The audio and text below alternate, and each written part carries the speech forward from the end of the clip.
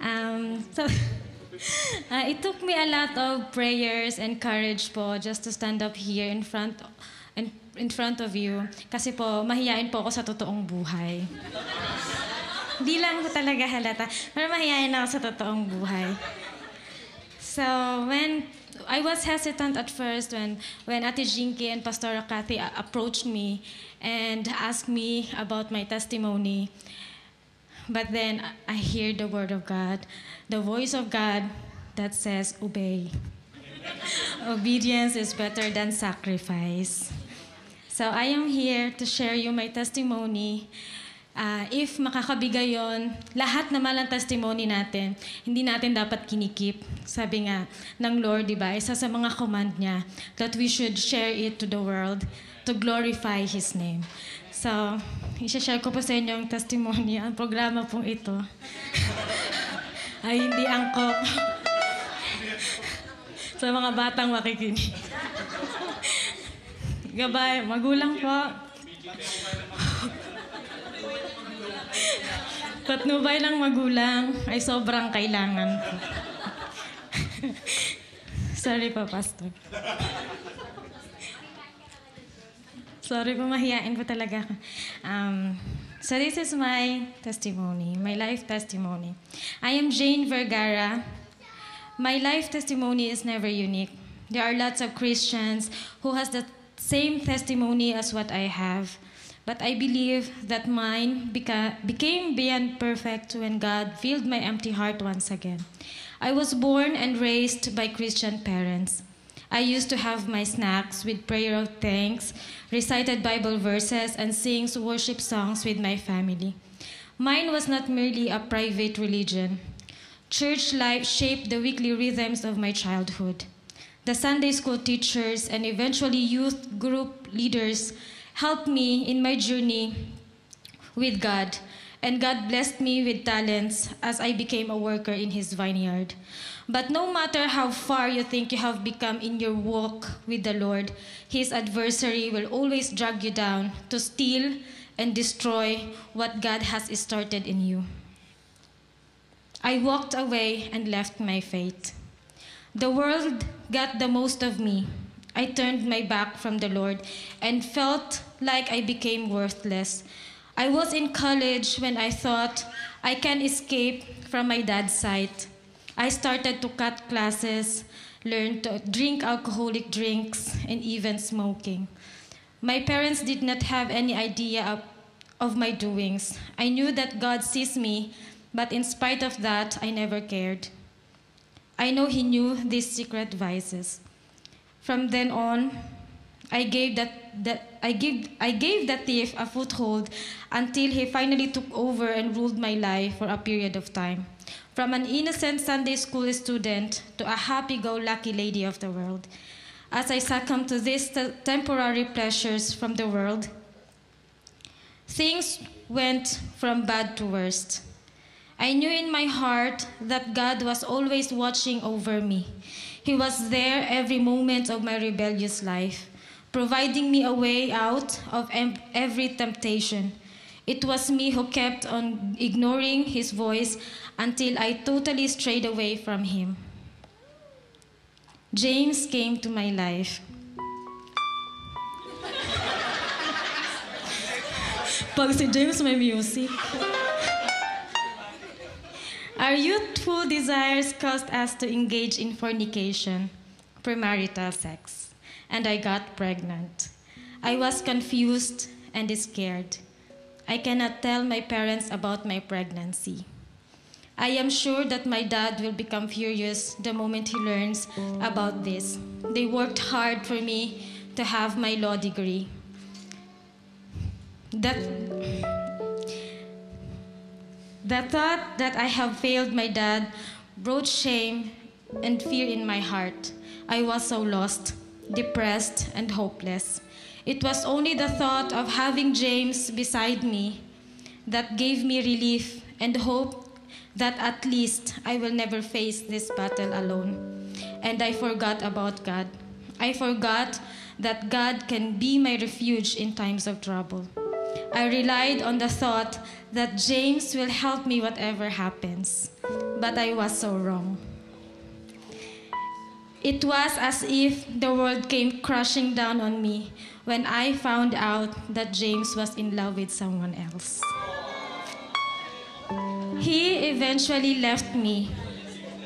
He eventually left me and our child for another woman.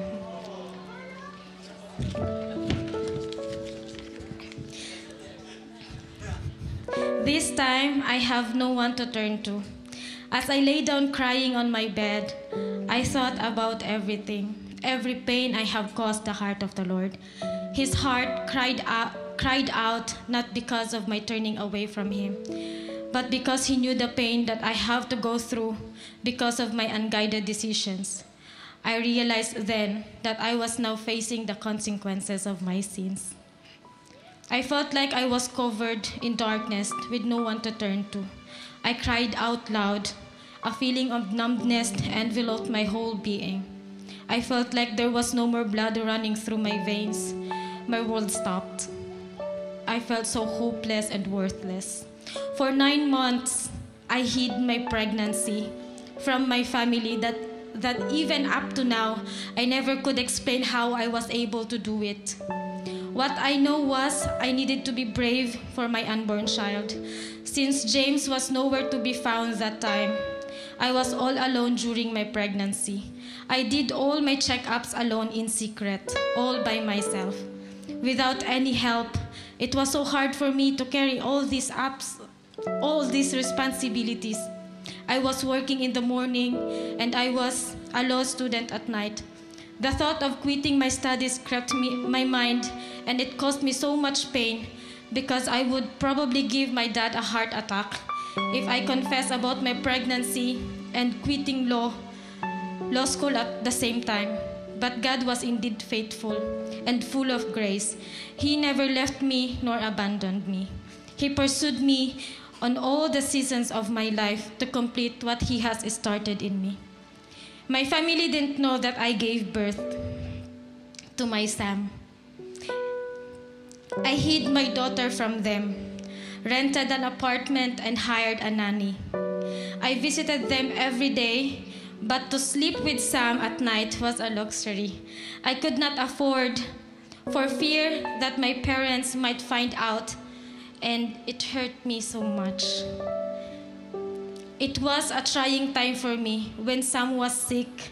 I couldn't go and take care of her because I was afraid that if they find out about Sam, they would kick me out of the house.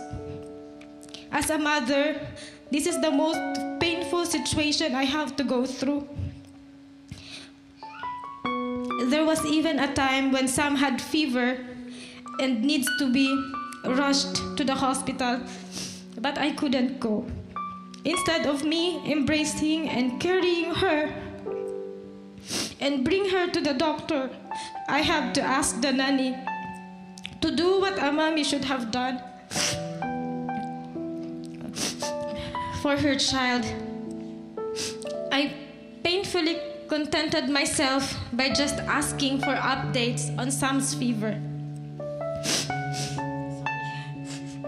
It came to a point in my life that everything was too much for me to bear. I turned and asked the Lord to forgive me. For the longest time, I refused to turn to Him because of shame, but this time I turned to Him in humility. I cried out to Him and asked Him to fill my emptiness and make me whole again. I suffered the consequences when I walked away from God's grace. I got pregnant. James left me.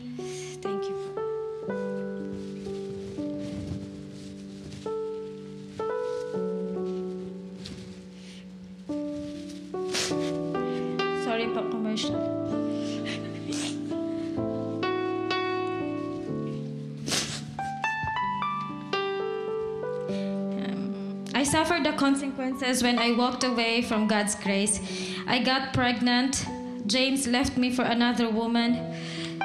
James never James never forgot about his responsibilities for Sam. He continued to send his support, but I still felt the pain of raising Sam alone. As I surrendered my life to the grace of the Lord, I felt the Lord touching my heart once again.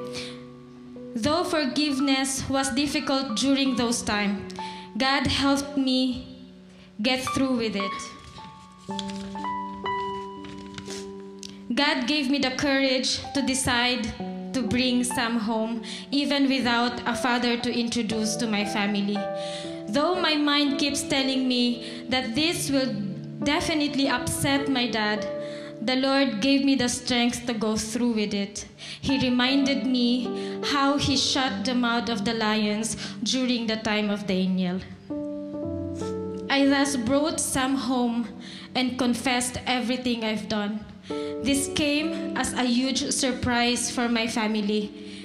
But amazingly, God has prepared their hearts as they welcome Sam with open arms and even love her beyond my expectation.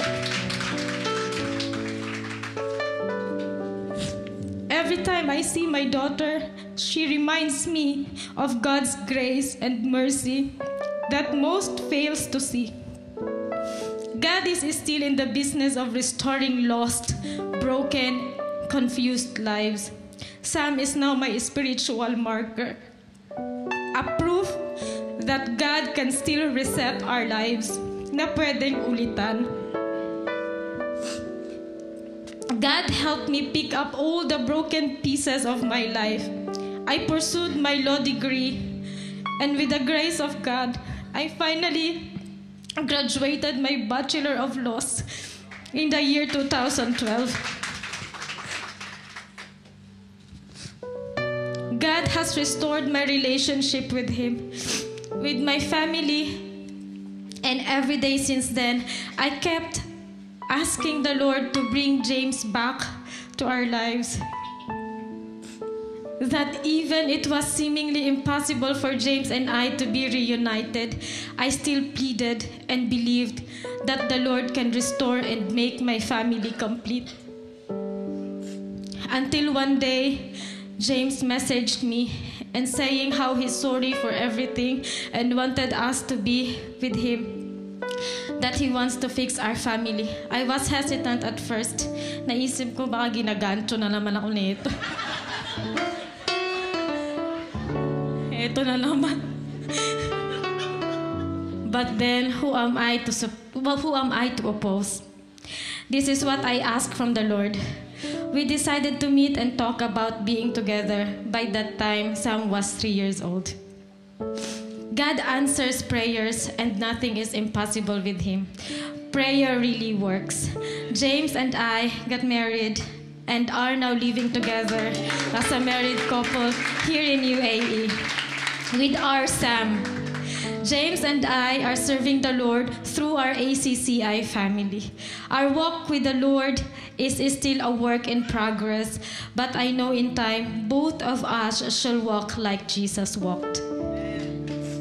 I shared my life testimony for everyone to have the courage to go back to God, to learn how to surrender their life to Him, and finally to pray without ceasing. In my life, I have proven myself many times that prayer indeed works. I was once lost. God pursued me, picked me up, and restored me. Kaya nga mga kaibigan, naniniwala ako na pwedeng ulitan kay Lord. Sabi nga niya sa Isaiah 1.18, Come, let us reason together, says the Lord. Though your sins are as red as scarlet, I can turn them white as snow. Though they are red as crimson, they shall turn as wool. I am Jane Vergara Galinato, married to James, the man I loved and have prayed for. Blessed, blessed with our beautiful Sam as a living testimony of God's immeasurable love, grace, and mercy. And now, receiving another blessing of life, I am now two months pregnant with another bundle of joy for me and James and Sam.